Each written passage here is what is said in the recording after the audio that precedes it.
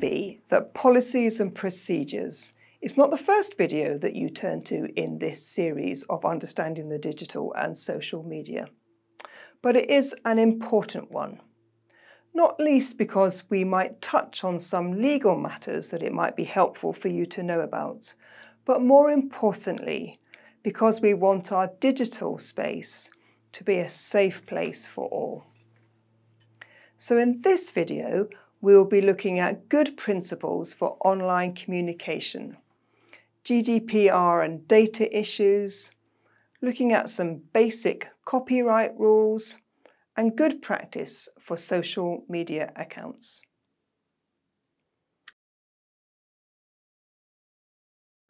So Methodist churches, circuits, districts and individuals are encouraged to adopt our social media principles, to encourage us to think about how we conduct ourselves online and to be aware of potential pitfalls.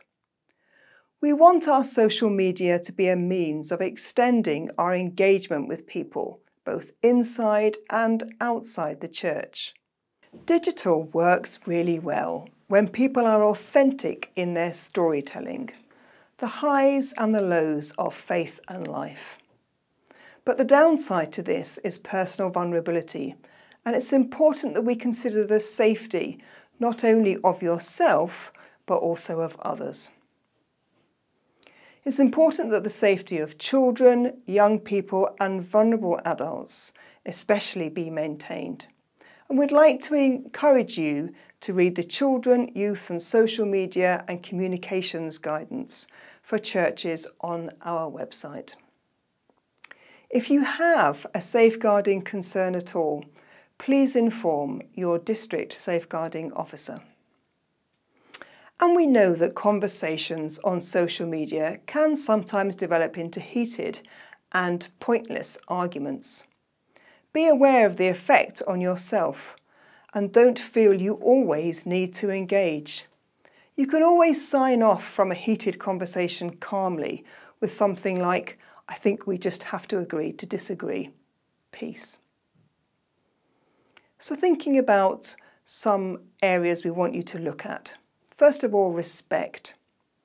Do not post or share content that is sexually explicit, inflammatory, hateful, abusive, threatening, or otherwise disrespectful. Be transparent. Don't mislead people about who you are or use pseudonyms. And as we have just said, disagree with love. If you have a criticism you need to make, consider carefully the tone of what you write. If you are personally attacked, do not respond in kind. Being a Christian means that sometimes we must speak out and challenge injustice. But remember when you need to point out something you think is wrong, that there is a real and possible vulnerable person at the reviewing end of what you have to say. Be careful when sharing content. Don't share in haste Read linked accounts thoroughly or watch a video to the end so you know exactly what it is that you are sharing before you judge whether it's suitable to share. And maintain confidentiality. If telling a story about someone else, ask yourself first, is this my story to tell? Don't reveal personal details about others without their explicit permission. And your responsibilities. If you, as a moderator of a social media channel, think comments or other content is unsuitable for the context they are in, or they are offensive, you should take action that may include hiding, deleting or reporting comments, or blocking the users. So now let's look at some GDPR and data issues. The GDPR law that came in a few years ago covered three main areas. First of all, new rights for people to access information organisations hold about them. Secondly, obligations for better data management. And thirdly, a new regime of fines. You can find out more about all of these here at TMCP. But for us in the church, there is a standard privacy notice for churches, circuits, and districts to use. One relevant element of data protection for us is email newsletters. Basically, the law says that you can't send people email newsletters unless you can show that they have asked to receive them. This is automated when you use something like MailChimp to send out newsletters, and it's called the double opt in. So when you enter your email address on a church website, for example, to sign up to their newsletter, you will then get a verification email which you need to click to verify it's you. Now, there are exceptions to this rule. You are allowed to send people emails if there is a legitimate interest. And of course, you need to have a clear unsubscribe link on every email newsletter you send out. So now let's have a look at just some copyright basics.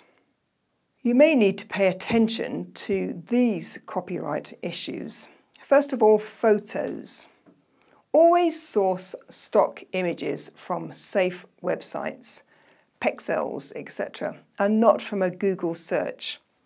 Take a look at our video on photography and the video about Canva for some ideas here. Be careful about written content, especially things like poems. Always get permission from the author and keep a record of that permission. Many of you will be looking at legally live streaming your worship the Church Copyright Licensing International, has just launched the Church Streaming License for the UK and Ireland, which is available to purchase via their online store or over the phone. If you are live streaming using YouTube or Facebook, the CCLI Church Streaming License is all that you need, and you do not need to purchase another license from PRS for music.